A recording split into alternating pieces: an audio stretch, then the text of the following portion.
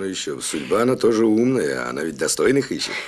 Ну а как тратить собираешься? А, были бы гроши, как тратить, нет вопроса. Э, ты не скажи, Петюня, как это нет вопроса? Ты знаешь, это дело серьезное, тут подход нужен. Вот, э, например, Федя Мельников. Из этого, из комендантского. из да? комендантского. Из комендантского. Вот он выиграл перед войной ЗИС-101. Ну и Вот он поступил достойно. Он просто счел невозможным в такой трудный для страны момент пользоваться личным автомобилем. Ну и? Ну и сдал его в Освяхим. Вот так вот.